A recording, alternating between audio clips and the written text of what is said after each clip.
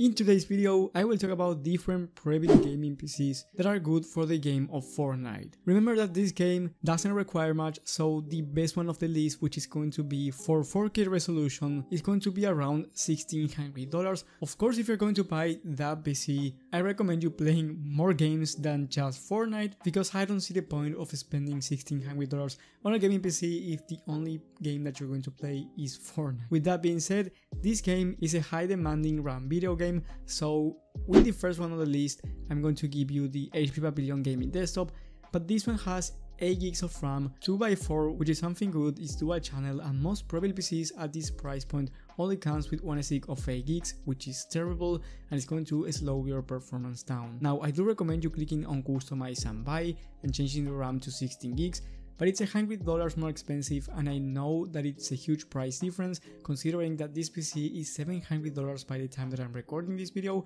So what I recommend you doing is waiting until July 4th which I'm pretty sure there are going to be some discounts for this PC for around $550, which is a huge discount and you will be able to upgrade the RAM and get it even at a lower price than it is right now already. Now, I'm not going to get into too much detail about the other specifications, it comes with the 1650 Super for the GPU and the i5-11400, which is a great budget CPU. I do have a whole review about this PC that's why I'm not going to get into more details. You can watch it in the top right of the screen. And the best part is that in that video, I give you guys a benchmark for Fortnite so you can see the performance at 1080p.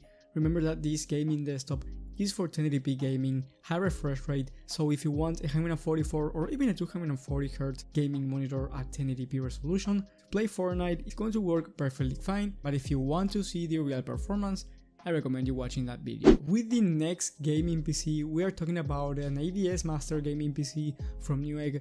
This one is $1200, it's actually on a discount right now, so I do recommend you buying it as soon as possible. You end up saving 300 bucks, which is a huge discount, and it comes with the i5-12400F for the CPU, so the latest gen of Intel, and then you get the GeForce RTX 3060 which will work great for Fortnite and also 16 gigs of RAM of dual channel at 3200 MHz which is all you need and on top of that a terabyte of M.2 NVMe SSD. So this PC is actually great for 1080p gaming not only for Fortnite but even for high demanding video games like Forza Horizon and the price is actually really decent. Of course if you build a PC by yourself it's going to be much cheaper for a better PC and I do have a bunch of videos talking about PC builds but if you're looking for a pre-built PC for Fortnite, even at 1440p, this one will handle the game in competitive settings at above 144 FPS at all times, so even if you have or you want to buy a 1440p monitor, this one will support it.